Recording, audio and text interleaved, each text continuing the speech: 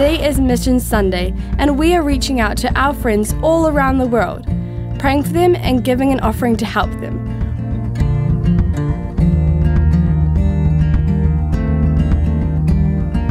Here at City Impact Church, we are so privileged to make an incredible difference in the lives of so many people all across the globe.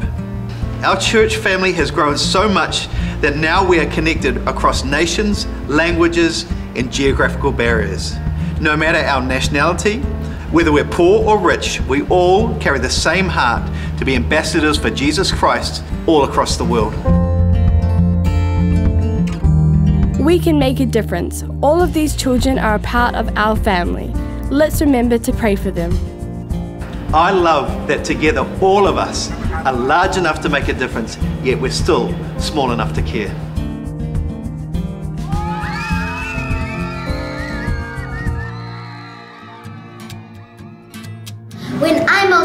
Be an interior designer. We want to work together. Then we can design our own houses. Yeah, and it'll be just so nice to do it. I feel like it's such a great job. When I grow up, I want to be a doctor so I can help those in need. When I grow up, I would like to be a, a zoo person because I love animals. I want to be a famous musician. And why do you want to be a famous musician? It's fun. Yeah. Hey kids! Welcome back. Today we're talking all about journeys. Everyone is in a journey in life. And our journeys have lots of ups and downs. Well, the longest journey Mariah and I have been on is our trip to America, like we said last week. Yeah, except something not expected happened.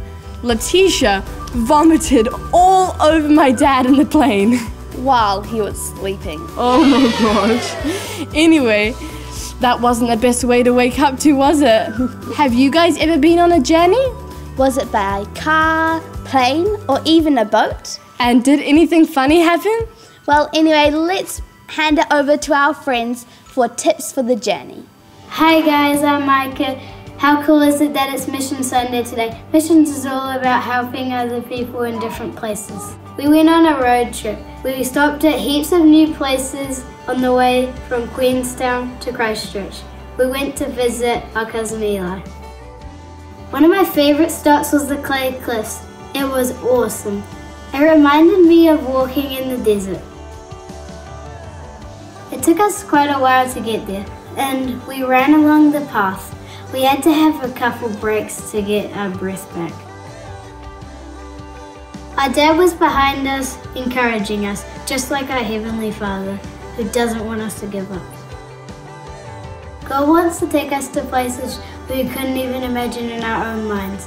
When you look up at these clay cliffs, they are magnificent.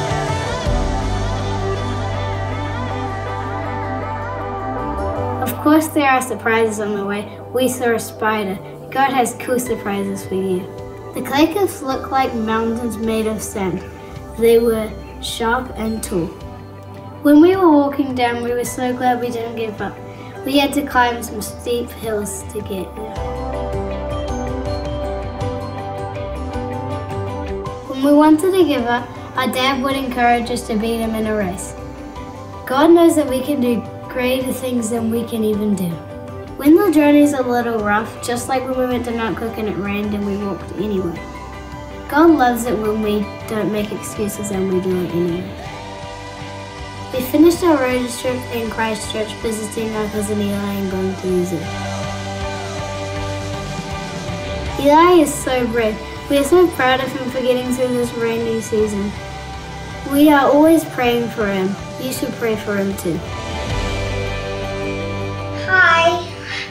My name is Eli, and I actually live in Invercargill, but I got a type of cancer called leukemia, and now and they said I had to go to the Invercargill Hospital, and then Invercargill Hospital found out that I had leukemia and sent me up to Christchurch Hospital. So here I am in Christchurch Hospital. Here's all the things I don't like doing. One, getting finger picks, which um, they have a prick and they like push this a spike into your finger to get some blood. But now I've got a hypnotize, so I don't to do it. And the second thing is a nose suit. I hate getting those in, but I'll have to get one in today because last night I spewed it out. Here I am with all of my beads. I've got so many of them because I've been here for quite a while. And the yellow one is when I need to stay in hospital, like I can't go out. And this one is when I'm neutropenic, which means I can't be near other people. And um, this one is where when they put blood into me. And the black one is when they take the blood out of me. And the fish is because I'm far away from home. Here I am, and I believe in God. And He, I believe that He has healed me and put faith into me. And I am really strong within Him and with the faith. And here I am, and I don't feel bad anymore. It's just my sore legs. Bye. I hope you enjoyed listening to my story.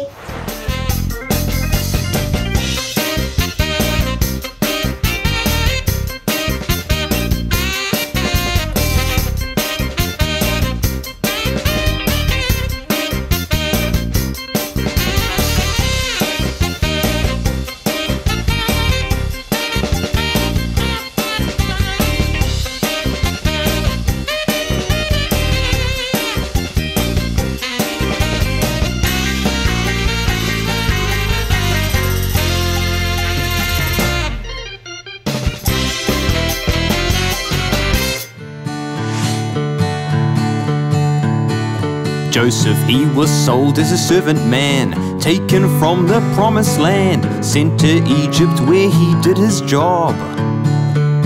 A lady blamed him for a crime that wasn't true, for she was lying. Joseph went to prison, but the story doesn't end.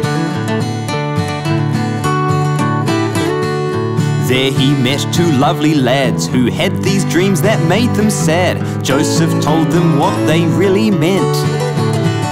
Then the king of Egypt had a dream, and Joseph rocked up to the scene, told the king what the dream will mean, and God had opened a door.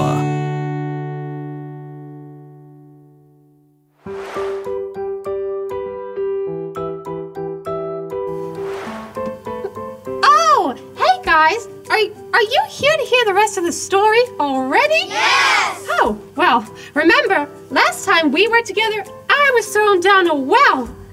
Awful, right? But don't worry, I'm glad to say that I lived to tell the tale. Our story continues. Can any of you guys guess what they did next? No! Of course not. It's too unexpected. They took me out. No, not to save me, to sell me. Yes, that's right. I mean, who does that? Takes you out of a well and then sells you into slavery? I'm sure glad people don't do that anymore.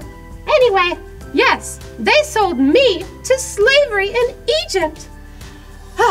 the journey was far and extremely, extremely hot. But as if things weren't already bad enough, I was stuck staring at a camel's behind every long step of the way. Ah, man, it was very, very bad because every few minutes he would let out some gas. Oh, there it is. And I would be stuck having to smell it up. Uh, I think it's fair to say that I was in a very tough spot. Have any of you ever been in a tough spot before? Well, you probably weren't stuck behind a camel's backside like me. But maybe you took a cookie from the cookie jar and you didn't want to tell your parents that it was you. Don't worry, because God is in control of every situation. Trust me, I know. God was so good to me, as even though I was sold into slavery, I ended up being a servant in Potiphar's palace. Wah! I know! What a twist! Ah, I loved it there. But there's always got to be a button there somewhere. Hmm. my master's wife lied and told him that I had done something terrible. So I was taken to jail for something that I didn't even do. Why?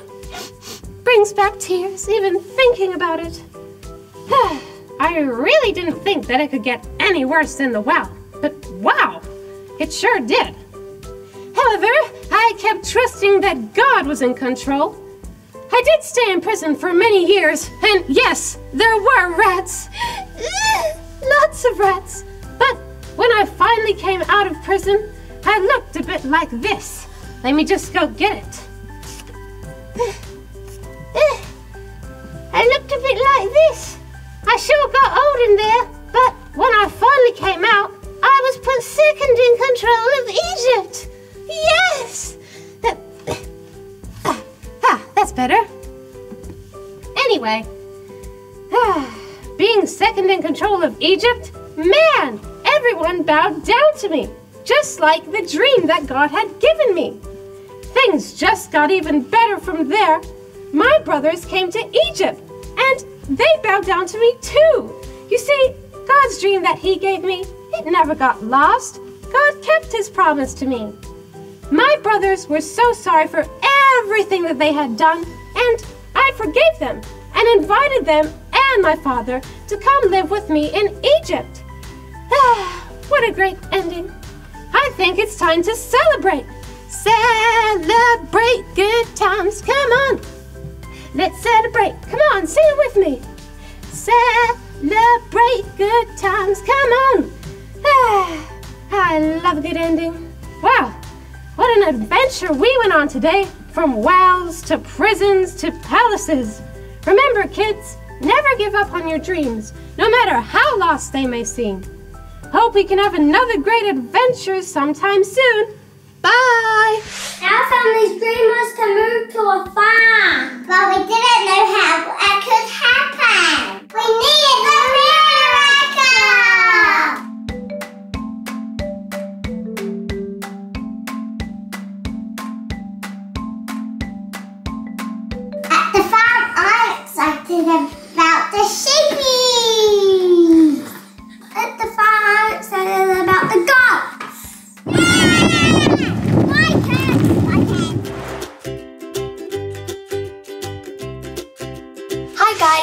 Aria and today I'm going to be answering one of your guys' questions.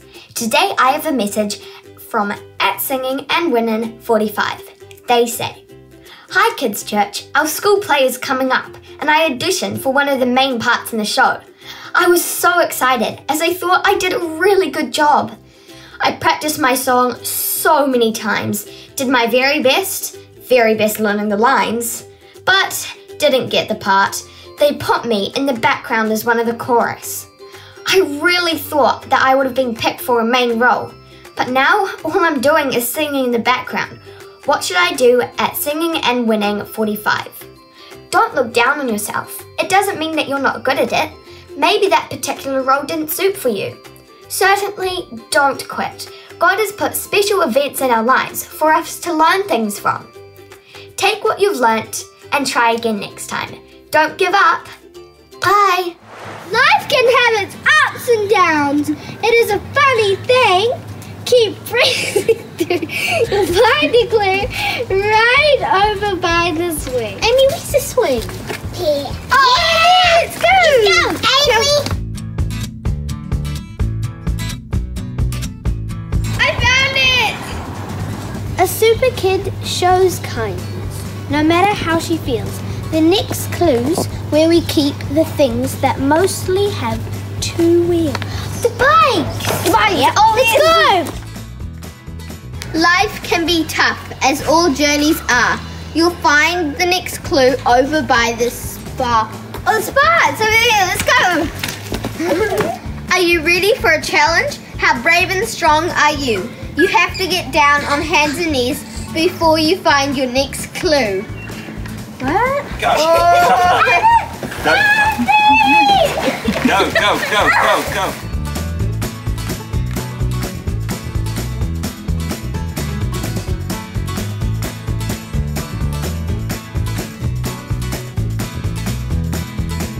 Life is like a seesaw. It can be up and down. Run up the stairs three times now without showing a frown. Oh my goodness, no smiles! No frowns! No frown. Okay, you're done. Down you go. I'm still smiling.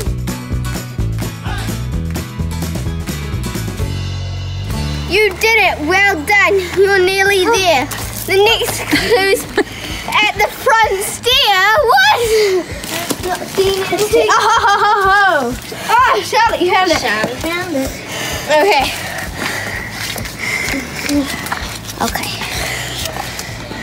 Uh, persevere leads, perseverance leads to treasure and a life that is stable. You'll find your reward inside on the table. Inside on the table.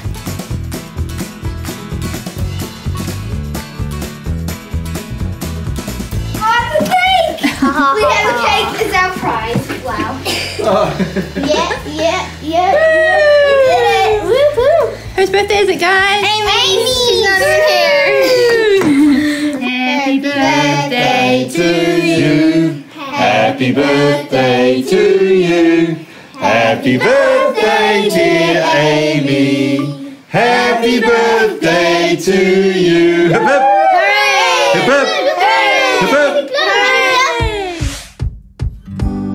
Hi, my name is Deshane Duplessis, and two years ago I had the dream of competing in the New Zealand National Figure Skating Championship. I started skating when I was around 10, and I skated for about three years doing lessons and practices.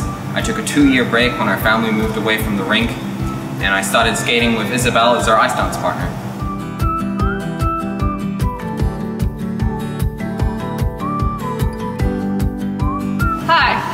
I'm Guys, and two years ago I had a dream to compete at the New Zealand Ice Figure Skating Championships.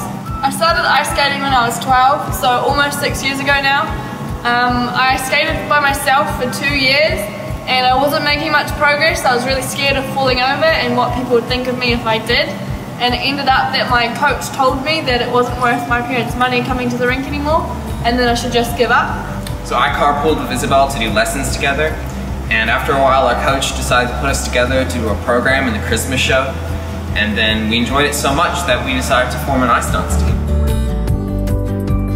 We've been skating together for three years, with a new dream of representing New Zealand internationally next year. We generally practice four times a week on ice, and we also have a gym session together once a week. So after a little bit of time and a lot of hard work, we actually managed to qualify for nationals.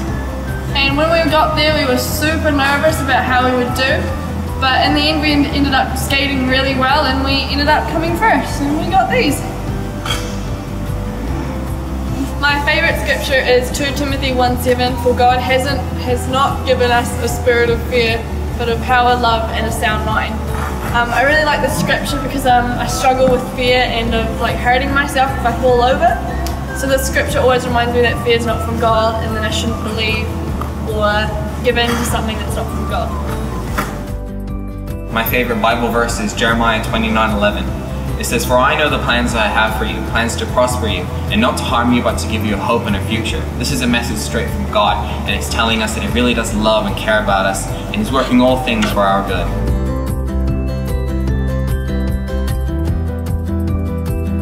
Thanks for listening to our story. We hope you find it inspiring. See ya! Bye! Everyone, it's Tamil here. So today I'm going to be showing you how to make some delicious hokey pokey. So we're going to need three things. We need some baking soda, sugar, and golden syrup. Oh, obviously you need a spoon to measure. So the trick with this is you need to keep it on the heat until it's the perfect temperature. So I've got the golden syrup and the sugar on the heat now, and as I stir, um, just want to tell you guys that sometimes it's easy to think that successful people got that way overnight, meaning that, you know, it just happened luckily to them or they just stumbled upon success. But like a lot of things in like this um, hokey pokey, you have to be on the heat for quite a while and taking every little opportunity that God has for you on the way. Oh wow, that looks so cool! Pour it into here. Did you guys see how quickly that baking soda puffed up this mixture? And often in life, the end bit is what people see. Joseph had to go through a journey. He went from the pit to the palace and then to prison. Life is a journey, but it's worth it. Look at this gold.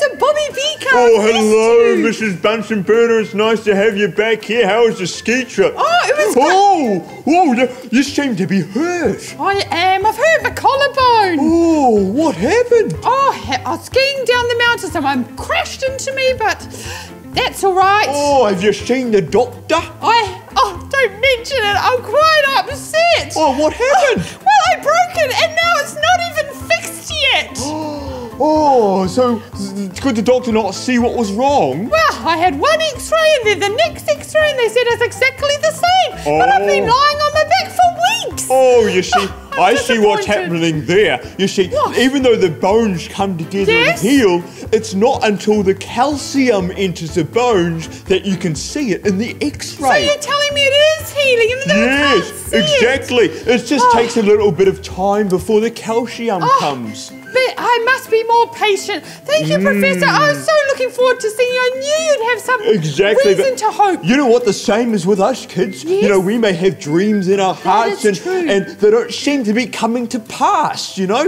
And we seem to be waiting and waiting, but know that God is there in the background bringing the calcium in our dreams. Oh! He's going to make them come to pass. This is exciting. It's very You might want to be a rugby player or a fancy right. ballerina. That's right. You've just got to keep practicing, don't you? Enjoy the journey and Exactly. be in faith and have patience. Thank you, Professor. that's what we're talking about today. J is for Absolutely. journey, isn't it? It is. We're all on a journey. I'm going to have faith. God is healing this, and I'll be patient. So you be patient.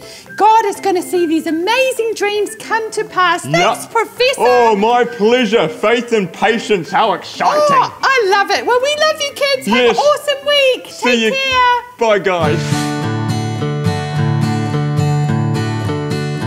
Joseph told the Pharaoh's dream, and Pharaoh he was really keen for Joseph to be ruler of the land. Egypt lost a lot of food, but Joseph he knew what to do. He set aside some bread and grain so everyone could eat. All his brothers with an empty hand made the journey through the land to buy some food for families back at home. Joseph saw his brothers there, they apologized and wept a tear. Joseph reunited with his brothers, his father, and his family, and everything was well. Well, we're all on a journey, aren't we? Well, God has awesome plans for you guys, but it all starts with a relationship with Him. So, if you would like to be in relationship with Jesus and start your journey, you can say this prayer with me. Let's say it together.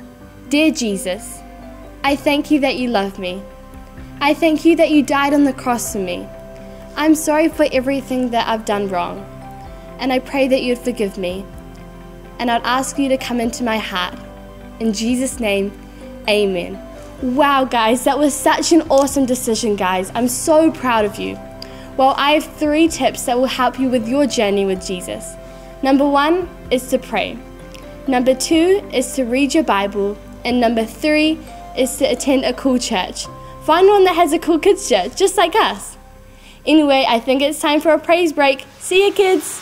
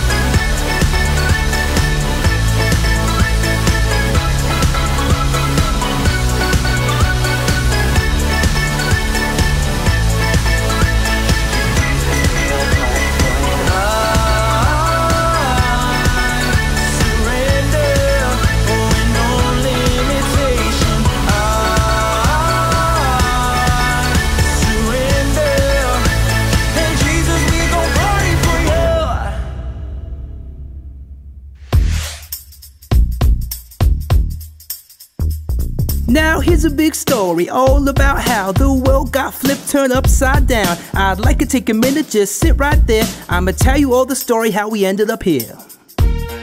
Yeah, come on kids, get comfortable. It's about to get good. MC Moore. In a garden called Eden, they were born and raised. Just hanging with God for all of the days. Chilling out, maxing, relaxing, all cool too. Adam and Eve broke the only rule. Then a couple of bros ended up in no good. Cain killing Abel in the neighborhood. They were kicked from the garden, and then God said, A flood is on the way because the world's been bad.